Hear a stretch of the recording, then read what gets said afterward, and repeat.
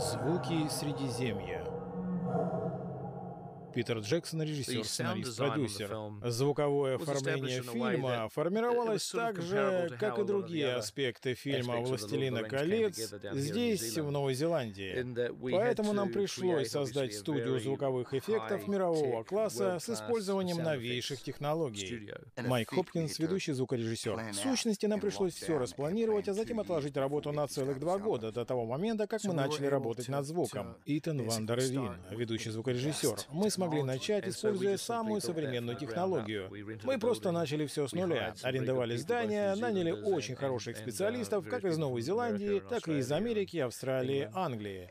Я выбирал людей, способных выдержать стресс и не потерять самообладание. Барри Осборн, продюсер. Мы справились, работая довольно небольшой командой. Я считаю, это делает конечный результат более целостным, чего трудно было бы добиться другим способом. Питер поставил четкую задачу Сделать все реальным. Сделать так, чтобы зрители перенеслись в Средиземье. Страж.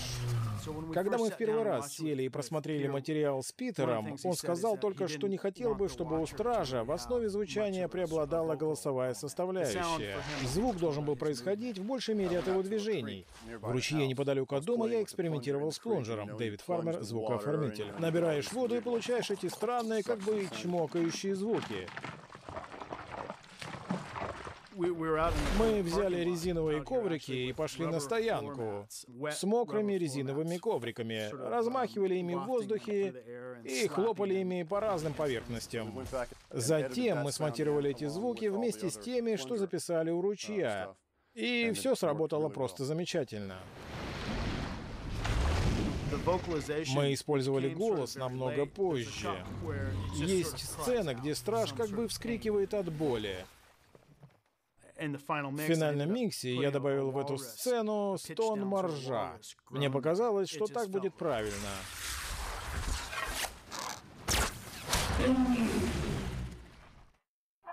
Орки Мории. Трудность озвучания орков заключалась в том, что по сравнению с монстрами в любом другом фильме, орки очень похожи на людей. В конце концов, мы остановились на таком подходе. Подобрали животных, злобных, агрессивных, и сымитировали их нашими собственными голосами. Мы использовали звук, который издает сумчатый волк. Мы понизили его тон, и получился замечательный стонущий звук. Возьмите сумасшедшего визжащего орка, персонажа, который говорит «Вот он я, я маньяк, и я здесь, чтобы убить тебя». Сразу стало понятно, сумчатый волк, здесь нужен сумчатый волк. Когда у Питера возникла идея придать оркам море сходство с насекомыми, мы пытались понять, как мы сможем это сделать. Они сеют ужас уже тем, что их несметное количество. Мы пытались что-то сделать, но это не сработало.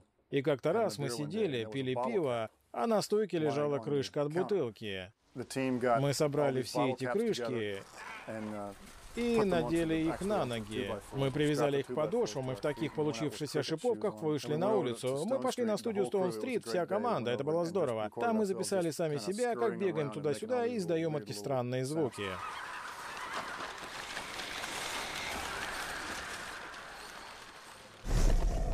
Пещерный тролль.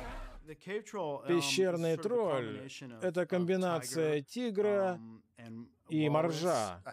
Мне пришлось создавать его дыхание, используя звуки двух разных животных. Для вдоха лучше всего подошел тигр, а выдох в итоге получился от канадской рыси. Таким образом, я создал эти звуки дыхания. Вдох тигр, выдох рыси, вдох тигр, выдох рыси.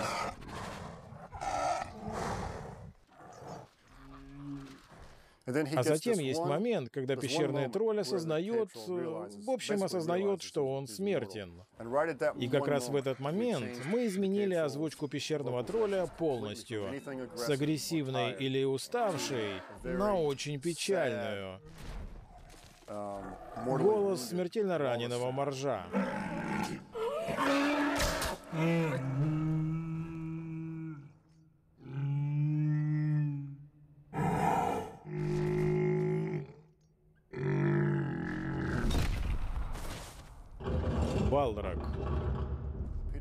Питер так описал Балрога. Это не создание из плоти и крови. Это по существу тень и пламя.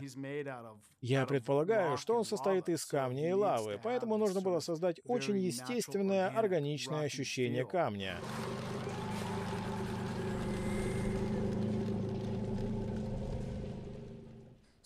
Я подумал, что неплохо бы попытаться извлечь рык из камня.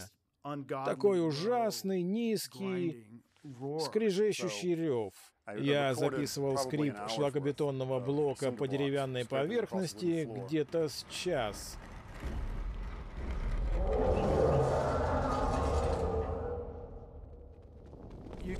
Это на самом деле можно услышать. Я полагаю, это похоже на скрежет камня.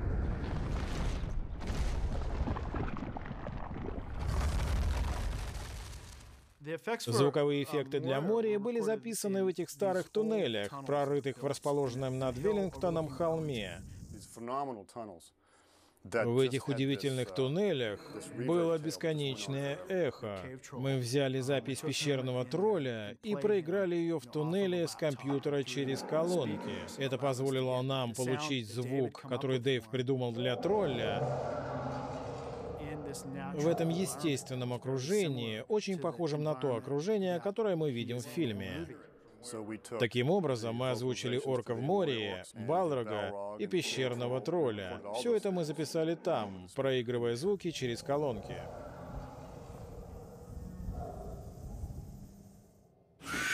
Призраки кольца. Призраки кольца были очень сложной задачей. После одного из последних прослушиваний, когда мы закончили, Пиджей повернулся ко мне и сказал, «Нам нужно что-нибудь для призраков. Здесь нет ничего, что пригодилось бы. Они не страшные, они не ужасают, они не работают. Из всех элементов, которые у нас были, мне нравился только один. Я проиграл для него этот фрагмент, и он сказал, «Френ может так кричать». Мы привели Френ в студию для записи шумов.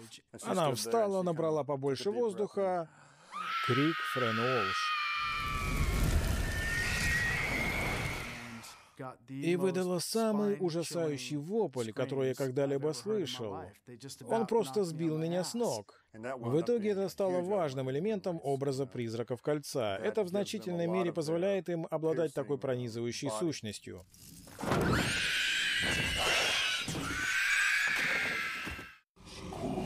Кольцо. По сценарию, кольцо является тоже своего рода персонажем. В нем есть сила, эффект присутствия, энергия. Когда я и Питер пробовали различные звуки для кольца, мы старались использовать в основном более вещественные, материальные звуки кольца. Все закончилось тем, что у кольца появился настоящий голос. У этого голоса разные интонации. Кого-то оно соблазняет, для кого-то она может звучать как голос, например, любимого или что-то похожее. В итоге постоянный актер озвучивал кольцо в течение всего фильма.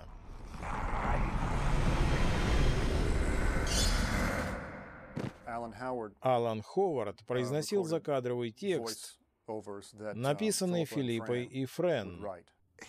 Он выучил множество фраз на черном наречии.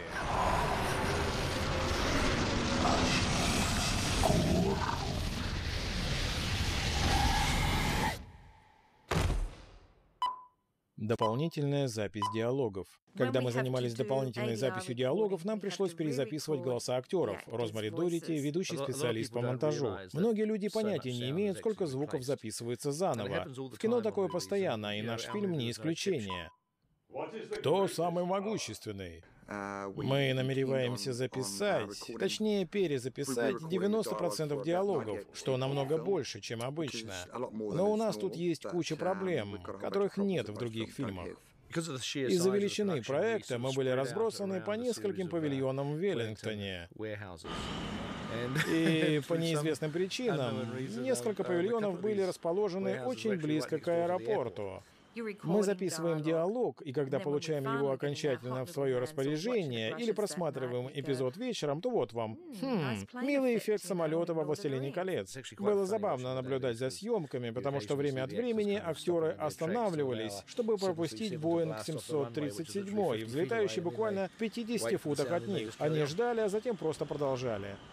Элайджа Вуд Фродо. Мы знали, что на стадии производства мы вновь окажемся в студии, чтобы перезаписать все диалоги. В сценах с Галадриэль было несколько моментов, снятых на скорости 33 кадра в секунду. Это было сделано для того, чтобы создать впечатление сказочное, ускользающее, не совсем реальное. Таким образом, у нас была замедленная съемка, сопровождаемая диалогом на нормальной скорости. Движение губ должно было быть синхронно. Актеры должны точно произнести реплику, чтобы фраза совпала с движением губ на экране.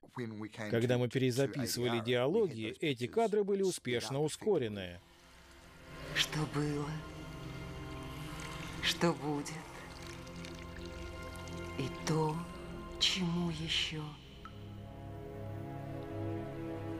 не дано свершиться чтобы выглядело так, будто они сняты на скорости 24 кадра в секунду. Когда Галадриэль проходит испытание кольцом и превращается в темную королеву, это снималось на скорости 48 кадров в секунду. Здесь мы имеем стопроцентное ускорение. Кейт Бланшет произнесла реплику в ускоренном темпе. Камера. Оригинальная запись диалога Кейт Бланшет на нормальной скорости 24 кадра в секунду. Treacherous as the sea, stronger than the foundations of the earth.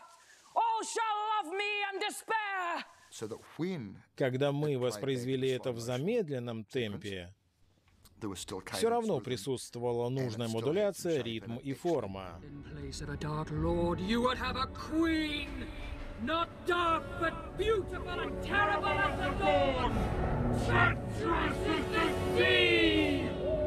Stronger than the foundations of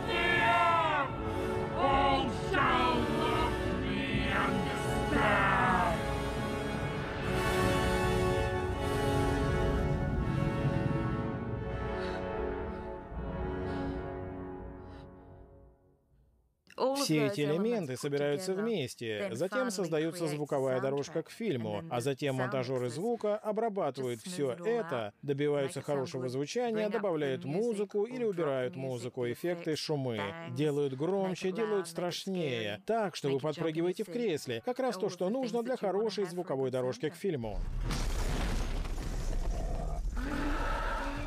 Озвучил по субтитрам Иннокен 33, студии Я, март 2019 года.